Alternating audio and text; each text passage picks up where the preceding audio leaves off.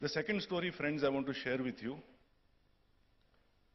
is to do with a Japanese professor who taught me a great lesson in management in the most insulting way possible. His name is Professor Yamaguchi. Yamaguchi-san, we used to call him. When I first met him, I was in charge of Bajaj Auto's R&D and engineering. We were working hard on the Pulsar.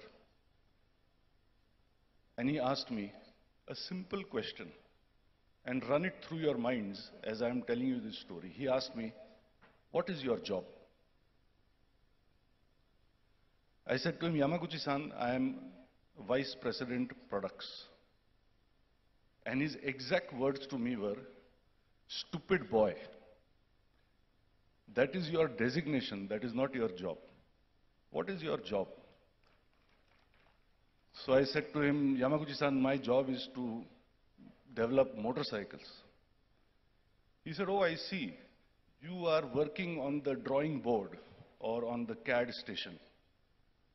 So I said, no, I am not personally actually working on the drawing board. He said, then what is your job? So there was a concept that time called design for manufacturing.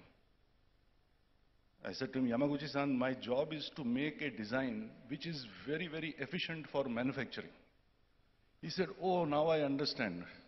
Working on the machine is your job. I was thinking to myself, I am Rajiv Bajaj and he's making a worker out of me. So I said, no, Yamaguchi-san, I don't work on the machine myself. Then he said, then what is your job?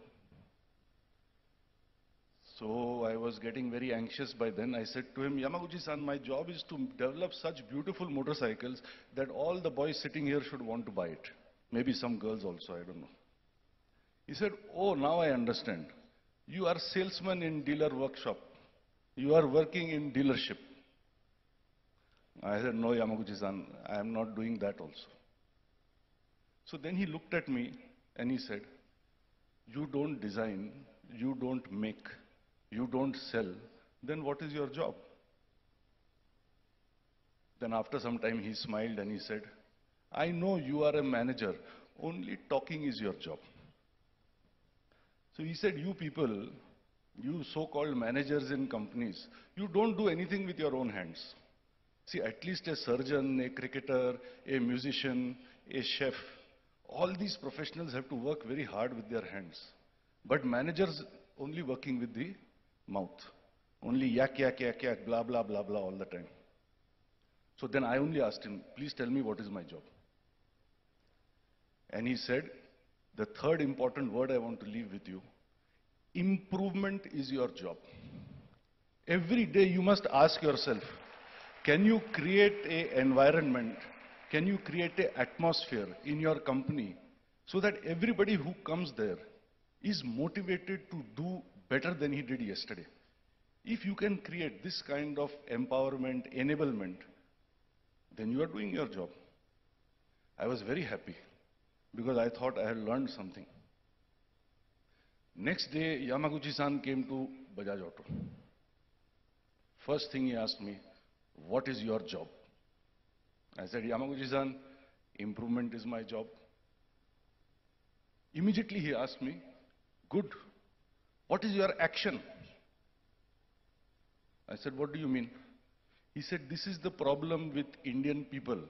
In India, nobody does. Only Ganesha does, Ganesha does, Ganesha does. He said, yesterday I told you, improvement is your job. You accepted it. But you have not taken any action since morning. You are only talking again. Improvement is my job, improvement is my job. So friends, what I want to say to you through these two stories of four words is that as you go forward, whether you go into politics or you go into any other profession, ask yourself, when you have any pain in life, because life will offer you a pain or the other every now and then. When you have any pain, ask yourself, is my direction correct? Is my direction logical and ethical? Is my direction a shortcut? Am I taking a roundabout route? Or is my direction correct? Two, if my direction is correct, is all of me aligned? Or am I distracted? Am I fragmented? Am I looking here and there? Is my mind somewhere else, my body somewhere else? Or is all of me aligned in my direction? Three, every day you go to work, ask yourself, what can I do better today? And four, whenever you get an idea to do something better, please put it into action.